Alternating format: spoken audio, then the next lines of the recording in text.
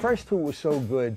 It's, it's like asking me if uh, I, I liked uh, Gatti Ward enough to see a third fight after the first two. Same situation here. Rios Alvarado, great, great fights the first two times.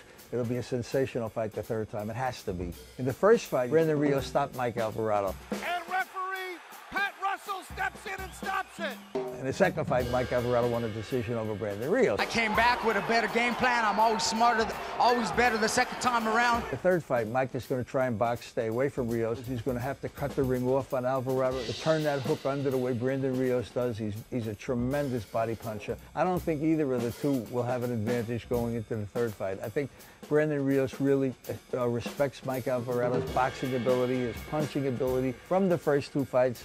I think it's just going to be an out-and-out war the third time they fight.